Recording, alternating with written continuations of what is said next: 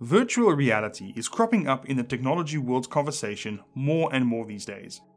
While a lot of attention goes to the fancy VR gaming scene or VR experiences, there's actually a pretty good case to be made for VR as a productivity tool. The best example of this is the VR desktop application. I set out to answer the question, can you actually work with a VR desktop using two popular apps? The short answer is yes, but there are some serious trade-offs involved. Before going any further, let's clear up exactly what a VR desktop is.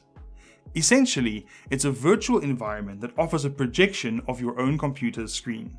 In other words, you'll see a virtual screen displaying exactly the same information you would see on your physical screen. But instead of it being on your desk in a room or office somewhere, it's in a virtual space. You need three things to run a VR desktop. First, you need a desktop computer that meets the minimum specifications. Next, you need a VR desktop application. And of course, a VR headset that's compatible with the app in question. There are a few main advantages to using a virtual desktop solution. The first is that you can have as much space as you like with monitor configurations that would be impractical in real life. Most people can't afford to accommodate a 6 monitor setup, but in some VR desktop apps you can do just that.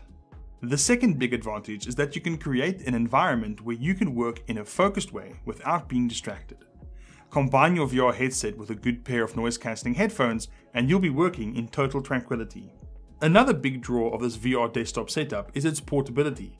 If you're someone who travels and often has to sit and work in hotel rooms or other spaces where you can only use a laptop, it's not that hard to bring your VR headset along and have as large a setup as you need in virtual reality. Not to mention that you can use it as your own personal cinema or big screen video game setup.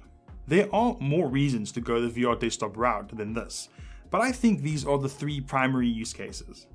Now that we've covered the theoretical stuff, let's look at two of the best virtual desktop apps you can get today. Virtual Desktop. This paid app is probably the best known virtual desktop app, and it certainly got first dibs on the name that describes the genre. This app is only available as paid software, but it's been around for a few years and the developers have plowed that money back into making the program polished and stable. Virtual Desktop on the Oculus Quest works wirelessly. We had our Windows computer connected to the router via Ethernet and the headset connected via a 5GHz wireless AC access point. Whether working or playing video games, we experienced no lag whatsoever. The screen was perfectly clear, apart from the chicken wire pixel grid effect that most VR headsets still have. Virtual Desktop is very streamlined. It's easy to move and resize screens. Virtual Desktop supports multiple physical monitors, but as far as we can tell, it does not support virtual monitors at this point in time. The program is incredibly stable and polished. It was dead simple to use and it has decent integration of the Oculus Quest's new hand tracking feature. For the most part, that means you don't need to use the touch controllers. Apart from the lack of virtual monitors and a lack of environment variety, the main drawback is that there's no free version of the app. Nonetheless, it's worth every penny for anyone looking for a polished, reliable personal VR work environment. Even better, the Quest version of the app has recently been updated to allow for wireless VR gaming from your PC. Immersed VR Immersed VR is a newer entrant to the virtual desktop world, but it's already making some waves.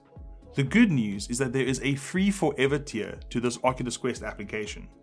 The company plans to extend to other platforms in the future. Immersed supports one virtual monitor on the free plan and up to five on the paid monthly tier. It also offers more varied environments. You get public and private collaboration in the virtual space with others, although private spaces are limited to paying customers. There's a neat virtual webcam and advanced features such as hand tracking are coming. Best of all, this works on Windows, Mac, and Linux.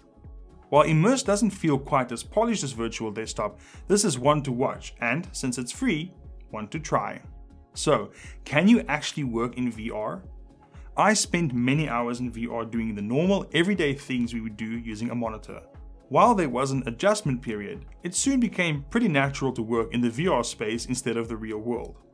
The virtual monitors rendered by the Quest look pretty good, though not as sharp as they would be in real life.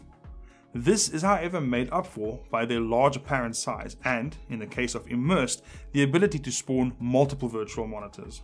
People who need to look at their keyboards to use them will of course struggle, but if you can work your keyboard and mouse without needing to see them and have a headset that's comfortable enough, a virtual desktop can be an amazing place to work. See you next time.